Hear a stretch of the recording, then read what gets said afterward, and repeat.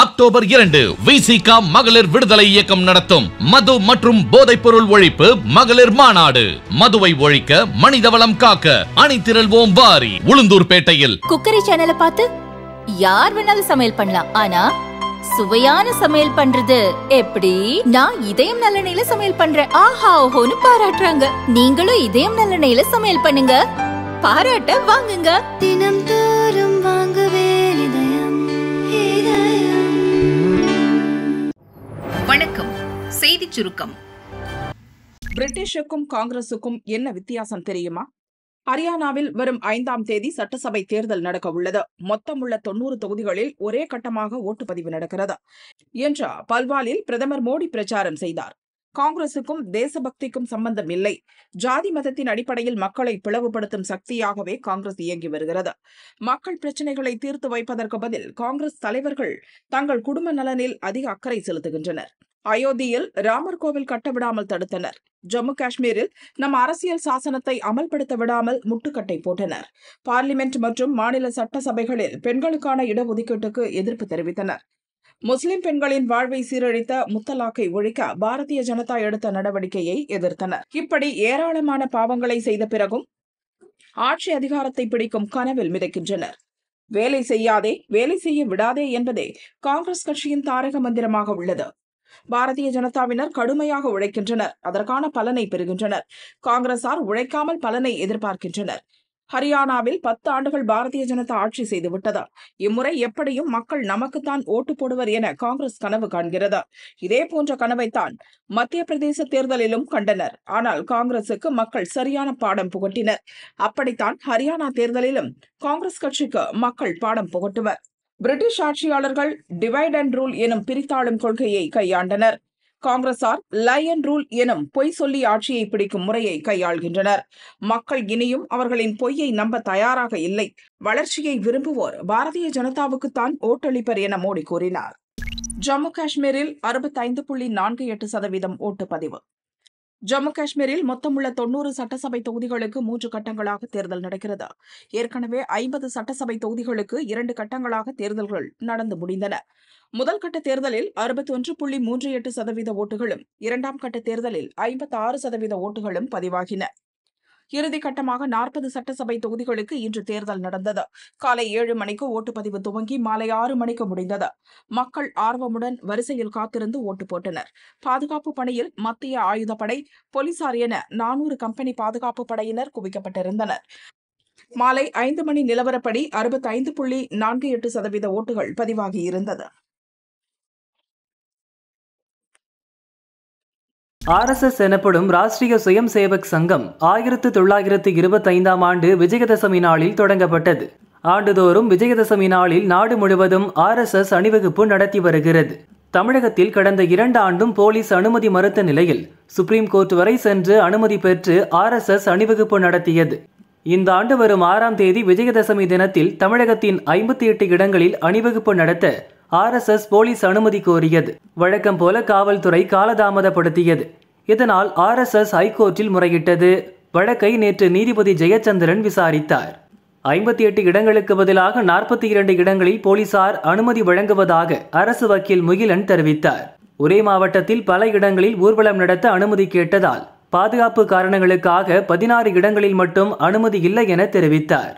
அதற்கு ஆர்எஸ்எஸ் வக்கீல்கள் ஆட்சேபனை தெரிவித்தனர். அற்ப காரணங்களை சொல்லி அனுமதி மறுத்துள்ளனர். மற்ற மாநிலங்களில் தாலுகா வாரியாக ஆர்எஸ்எஸ் ஊர்வலம் நடக்கிறது. தமிழகத்தில் மட்டும்தான் ஊர்வலம் நடத்த ஒவ்வொரு ஆண்டும் நீதிமன்றத்தை நாட வேண்டியிருக்கிறது. விண்ணப்பித்த அனைத்து இடங்களிலும் அனுமதி அளிக்க கோர்ட் உத்தரவிட வேண்டும் என வாதிட்டனர். இருதரப்பு வாதங்களை கேட்ட நீதிபதி ஜெயச்சந்திரன் தமிழக காவல்துறையை எச்சரித்தார். கோர்ட்டின் பொறுமையை சோதிக்க வேண்டாம். திமுக பவள விழாவுக்கு மட்டும் எப்படி ஒரே நாளில் பல்வேறு இடங்களில் போலீஸ் பாதுகாப்பு வழங்கப்பட்டது? ஆர்எஸ்எஸ் ஊர்வலத்துக்கு சுப்ரீம் கோர்ட்டும் ஹைகோர்ட்டும் ஏற்கனவே வழிகாட்டு நெறிமுறைகளை வகுத்து கொடுத்திருக்கிறது. அப்படியிருந்தும் காவல்துறை ஏன் இப்படி செயல்படுகிறது? போலீஸ் மீது ஏன் கோர்ட் அவமதிப்பு நடவடிக்கை எடுக்கக்கூடாது என நீதிபதி ஜெயச்சந்திரன் கேள்வி எழுப்பினார். எஞ்சிய பதினாறு இடங்களிலும் ஊர்வலத்துக்கு அனுமதி கொடுப்பது குறித்து முடிவெடுத்து தெரிவிக்கும்படி உத்தரவிட்டு வழக்கை இன்றைய தேதிக்கு ஒத்திவைத்தது இன்று நடந்த விசாரணையில் அனுமதி மறுக்கப்பட்ட பதினாறு இடங்களில் பத்து இடங்களில் அனுமதி வழங்க போலீஸ் ஒப்புக்கொண்டது. மாங்காடு கொரட்டூர் தூத்துக்குடி மேடவாக்கம் முதலான ஆறு இடங்களில் மட்டும் பாதுகாப்பு உள்ளிட்ட காரணங்களுக்காக அனுமதி வழங்கவில்லை என வக்கீல் முகிலன் தெரிவித்தார். அதை நீதிபதி ஜெயச்சந்திரன் நிராகரித்தார்.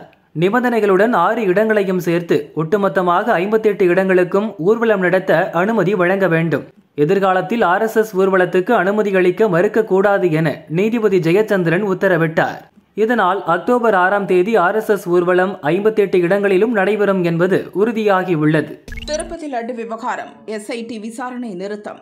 திருப்பதி லட்டில் விலங்கு கொழுப்பு கலக்கப்பட்ட விவகாரம் சர்ச்சையை ஏற்படுத்தியது. இது தொடர்பாக விசாரிக்க குண்டூர் சரக ஐஜி சர்வ ஷரஸ்தா திரிபாதி தலைமையில் ஒன்பது பேர் கொண்ட எஸ்ஐடி எனப்படும் சிறப்பு விசாரணை குழுவை அமைத்து ஆந்திர அரசு உத்தரவிட்டது. அதன்படி விசாரணை குழுவினர் மூன்று பிரிவுகளாக பிரிந்து விசாரணை நடத்தினர்.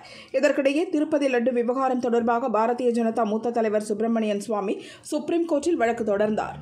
இந்த வழக்கை நேற்று விசாரித்த நீதிபதிகள் ஆந்திர முதல்வர் சந்திரபாபு நாயுடுவுக்கு கண்டனம் தெரிவித்தனர். அரசியல் சாசன பதவியில் இருப்போர் கவனத்துடன் நடந்து கொள்ள வேண்டும். மக்களின் மத நம்பிக்கைகளை புண்படுத்தும் வகையில் பேசக்கூடாது. அரசியலுக்குள் கடவுளை இழுப்பது சரியல்ல என நீதிபதிகள் கூறினர். இந்த சூழலில் சிறப்பு விசாரணை குழுவின் விசாரணையை நிறுத்தி வைப்பதாக ஆந்திர மாநில டிஜிபி துவாரகா திருமலை ராவ் கூறியுள்ளார். முதல்கட்ட விசாரணையை முடித்துவிட்டோம். சிலரிடம் கருத்துக்களை கேட்டு பதிவு செய்துள்ளோம். தற்போது இந்த வழக்கை சுப்ரீம் கோர்ட் விசாரித்து வருவதால் எங்கள் விசாரணையை நிறுத்தி வைத்துள்ளோம் என தெரிவித்தார். ரஜினிக்கு சிகிச்சை சக்சஸ் கண் விழித்து பார்த்தார். டாக்டர்களுக்கு நன்றி. ஹைதராபாத்தில் கூலிப்பட ஷூட்டிங்கை முடித்துவிட்டு கடந்த இருபத்தி எட்டாம் தேதி சென்னை திரும்பிய நடிகர் ரஜினிகாந்துக்கு நேற்று மாலை திடீரென உடல்நலம் பாதிக்கப்பட்டது. அவரை கிரீம் சாலையில் உள்ள அப்பல்லோ மருத்துவமனையில் சிகிச்சைக்காக குடும்பத்தினர் சேர்த்தனர். ரஜினிக்கு சில ஆண்டுகளுக்கு முன் சிறுநீரக மாற்று அறுவை சிகிச்சை செய்யப்பட்டது. சில நாளாக அடிவயிற்றில் வீக்கத்துடன் வலி ஏற்பட்டது. சிறுநீர் கழிக்கும் போதும் சிரமம் இருந்துள்ளது. அதைத் தொடர்ந்து சிறுநீரகம் இதயம் உள்ளிட்ட உறுப்புகளின் செயல்பாடு குறித்த பல்வேறு பரிசோதனைகள் எடுக்கப்பட்டன. இதயத்திலிருந்து செல்லும் பிரதான இரத்த நாளத்தில் வீக்கம் இருப்பது பரிசோதனையில் தெரிய வந்தது. அதை நான் சர்ஜிக்கல் சிகிச்சை முறையில் சரி செய்ய டாக்டர்கள் முடிவு செய்தனர். அதற்காகத்தான் அவர் அப்பலோவில் நேற்று அட்மிட் செய்யப்பட்டார். இரத்த நாள வீக்கத்தை சரி செய்ய ஸ்டென்ட் பொருத்துவதற்கான சிகிச்சை இன்று செய்யப்பட்டது. டாக்டர் சாய் சதீஷ் தலைமையிலான மூன்று சிறப்பு மருத்துவ நிபுணர்கள் ஸ்டென்ட்டை வெற்றிகரமாக பொருத்தினர். இப்போது ரஜினியின் உடல்நிலை சீராக உள்ளது. அவர் ஐசியூவில் இருந்து சாதாரண வார்டுக்கு மாற்றப்பட்டுள்ளார். இன்னும் இரண்டு நாளில் அவர் டிஸ்சார்ஜ் செய்யப்படுவார் என மருத்துவமனை நிர்வாகம் அறிக்கை வெளியிட்டது. ரஜினியுடன் அவர் மனைவி லதா ஹாஸ்பிட்டலில் உள்ளார். ரஜினியின் உடல்நிலையை டாக்டர்கள் சாய் சதீஷ் தலைமையிலான மருத்துவ குழு தொடர்ந்து கண்காணித்து வருகிறது. ஸ்டென்ட் பொருத்தும் சிகிச்சைக்கு பிறகு கண் விழித்த ரஜினி தனக்கு சிகிச்சை அளித்த டாக்டர்களுடன் பேசினார். நன்றி தெரிவித்தார் என மருத்துவமனை வட்டாரங்கள் கூறின. ரஜினி ஹாஸ்பிட்டலில் அட்மிட் செய்யப்பட்டதிலிருந்து கவர்னர் ரவி முதல்வர் ஸ்டாலின் துணை முதல்வர் உதயநிதி என தலைவர்களும் சினிமா பிரபலங்களும் ரஜினி விரைவில் குணமடைய வேண்டுமென அறிக்கை விட்ட வண்ணம் உள்ளனர். இதனால் கவலையடைந்த சூப்பர் ஸ்டாரின் ரசிகர்கள் தலைவர் விரைவில் குணமடைய பிரார்த்தனை செய்து வந்த நிலையில் அப்பல்லோ நிர்வாகத்தின் அறிக்கையால் நிம்மதியடைந்தனர்.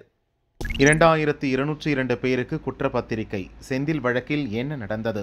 பண மோசடி வழக்கில் கைதாகி ஜாமீனில் வந்த செந்தில் பாலாஜி மீண்டும் அமைச்சராகி உள்ளார். திங்கள் வெள்ளி இரண்டு நாள் அமலாக்கத்துறை ஆபீஸில் கையெழுத்து போட உத்தரவிடப்பட்டுள்ளது. இன்னும் பல கடும் நிபந்தனைகளுடன் தான் அவருக்கு ஜாமீன் தரப்பட்டுள்ளது. செந்தில் மீது அமலாக்கத்துறை வழக்குடன் மத்திய குற்றப்பிரிவு போலீசார் பதிந்த பணமோசடி வழக்கும் நிலுவையில் உள்ளது. கடந்த அதிமுக ஆட்சியில் போக்குவரத்து துறை அமைச்சராக இருந்தவர் செந்தில். அப்போது வேலை வாங்கி தருவதாக கூறி பணமோசடியில் ஈடுபட்டதாக செந்தில் உட்பட நாற்பத்தி எட்டு பேர் மீது குற்றம் சாட்டப்பட்டது. இவர்கள் மீது சென்னை மத்திய குற்றப்பிரிவு போலீசார் மூன்று மோசடி வழக்குகளை கடந்த இரண்டாயிரத்து பதினைந்து இரண்டாயிரத்து பதினேழு இரண்டாயிரத்து பதினெட்டாம் ஆண்டில் பதிவு செய்திருந்தனர். இந்த வழக்குகளில் தாக்கல் செய்யப்பட்ட கூடுதல் குற்றப்பத்திரிகையில் செந்தில் பாலாஜி உட்பட இரண்டாயிரத்து இருநூற்று இரண்டு பேர் மீது குற்றம் சாட்டப்பட்டுள்ளது. எம்பி எம்எல்ஏக்கள் மீதான வழக்குகளை விசாரிக்கும் சென்னை ஸ்பெஷல் கோர்ட்டில் இந்த வழக்கு இன்று விசாரணைக்கு வந்தது. நீதிபதி ஜெயவேல் முன் செந்தில் பாலாஜி உட்பட நாற்பத்தி எட்டு பேர் மீண்டும் ஆஜராகினர். அவர்களுக்கு வழக்கு தொடர்பான கூடுதல் குற்றப்பத்திரிகை நகல்கள் வழங்கப்பட்டது. கூடுதல் குற்றப்பத்திரிகையில் இரண்டாயிரத்து இருநூற்று இரண்டு பேர் குற்றம் சாட்டப்பட்டவர்களாக சேர்க்கப்பட்டுள்ள நிலையில் முதல் கட்டமாக நூறு பேருக்கு குற்றப்பத்திரிகை நகல்கள் வழங்க உத்தரவிடப்பட்டது. நூறு பேர் வீதம் இரண்டாயிரத்து இருநூற்று இரண்டு பேருக்கும் குற்றப்பத்திரிகை நகல்கள் விரைவில் வழங்கப்பட உள்ளது. அது முடிந்த பிறகு குற்றச்சாட்டுகள் பதிவு செய்யப்படும் என தெரிவித்த நீதிபதி ஜெயவேல் வழக்கு விசாரணையை அக்டோபர் இருபத்தி நான்குக்கு தள்ளி வைத்தார். அனுப்பம் கேர் படம் போட்ட ரூபாய் ஒன்று புள்ளி மூன்று கோடி கள்ள நோட்டுகள். குஜராத் தொழிலதிபர் ஏமாந்தது இப்படித்தான். குஜராத் மாநிலம் ஆமதாபாத்தைச் சேர்ந்தவர் மெக்குல் தக்கர் பிரபல நகை வியாபாரி. இவரது கடைக்கு கடந்த இருபத்தி நான்காம் தேதி இருவர் வந்தனர். இரண்டாயிரத்து நூறு கிராம் தங்கம் வாங்கினர். மொத்த அமௌண்ட் ஒன்று புள்ளி ஆறு கோடி ரூபாய் என நகைக்கடை ஊழியர்கள் பில் போட்டு கொடுத்தனர். நகை வாங்க வந்தவர்கள் ஒரு பையை ஊழியர்களிடம் கொடுத்தனர். அதை வாங்கிய ஊழியர்கள் உள்ளே ஐநூறு ரூபாய் நோட்டுக்கட்டுகள் இருப்பதை பார்த்தனர்.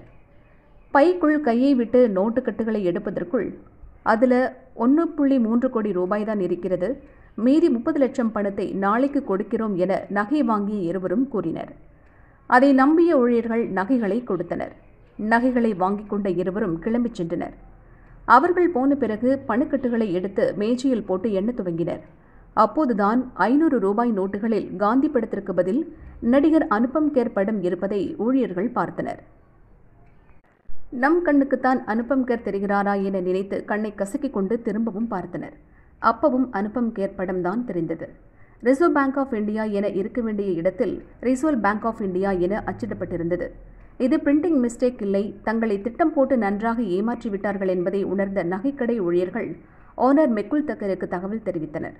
ஆமதாபாத் போலீஸ் நிலையத்தில் தக்கர் புகார் கொடுத்தார். புகாரின் அடிப்படையில் சிசிடிவி வீடியோவை வைத்து ஃப்ராட் ஆசாமிகளை போலீசார் தேடுகின்றனர். மோசடி எப்படி நடந்தது என போலீஸ் அதிகாரி ஏ. ஏ. தேசாய் விளக்கி கூறினார். மெகுல் தக்கரி நகை கடைக்கு அருகிலேயே இரண்டு நாட்களுக்கு முன்தான் கொரியர் நிறுவனத்தை ஃப்ராடு ஆசாமிகள் துவங்கியுள்ளனர். வெளியே பெரிய போர்டை வைத்து தடபுடலாக கடையை துவக்கினர். அதன் மூலம் தக்கருடன் அறிமுகம் கிடைத்தது. இதனால் கள்ள நோட்டுகளை கொடுத்தபோது கூட தக்கருக்கோ கடை ஊழியர்களுக்கோ சந்தேகம் எதுவும் வரவில்லை. கடையை வாடகைக்கு விட்ட கட்டிடத்தின் உரிமையாளரிடம் கூட அட்வான்ஸ் எனச் சொல்லி அனுபம்கர் படம் உள்ள கள்ள நோட்டுகளைத்தான் ஆசாமிகள் கொடுத்துள்ளனர். இரண்டு பேரிடமும் ஒரே நேரத்தில் அனுபம்கர் கள்ள நோட்டுகளை கொடுத்துவிட்டு ஆசாமிகள் எஸ்கேப் ஆகியுள்ளனர்.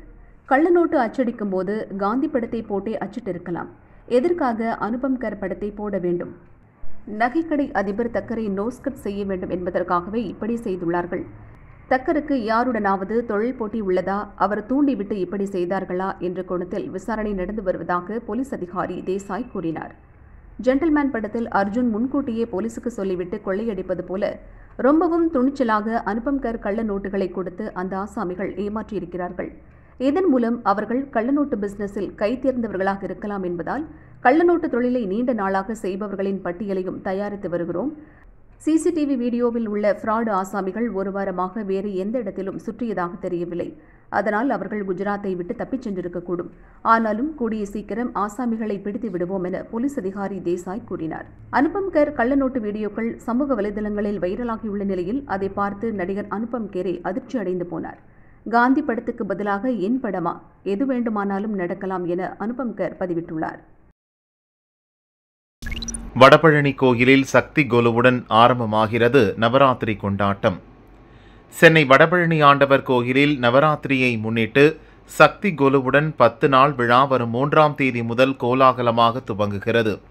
மூன்றாம் தேதி மாலை யாகசாலை பூஜைகள் துவங்கி தினமும் காலை மாலை பூஜைகள் நடத்தப்பட உள்ளது. அம்மன் கொலு சன்னதியில் காலை பதினோரு மணி மாலை ஆறு மணிக்கு சிறப்பு பூஜை தீபாராதனை நடக்கும். நவராத்திரி பத்து நாட்களிலும் தினமும் மாலை ஐந்து முதல் ஏழு மணி வரை லலிதா சகசிரநாமம் வேத திருமுறை பாராயணங்கள் மகளிர் கொலு பாட்டு நடக்க உள்ளது. மீனாட்சி அம்மன் உற்சவருக்கு ஏகதின லட்சார்ச்சனை அக்டோபர் பதினொன்றாம் தேதி காலை ஏழு முப்பது மணிக்கு துவங்குகிறது. இதில் பங்கேற்க விரும்பும் பக்தர்கள் அலுவலகத்தில் ரசீது பெற்றுக்கொள்ளலாம் லட்சார்ச்சனை முடிவில் அம்பாளின் பிரசாதம் வழங்கப்படும்.